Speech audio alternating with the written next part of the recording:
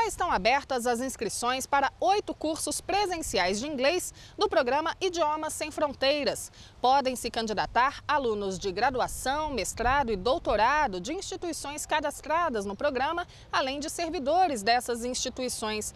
Para se inscrever, é preciso ter realizado o exame TOEFL de proficiência da língua inglesa e ter tido o resultado publicado. O teste indica em que nível o aluno deve se matricular. Os cursos têm duração de 1 a 4 meses e cada turma possui entre 10 e 20 alunos. As aulas já começam no dia 9 de novembro. As inscrições devem ser feitas pelo site do Idioma Sem Fronteiras e o prazo termina no próximo dia 26, ao meio-dia.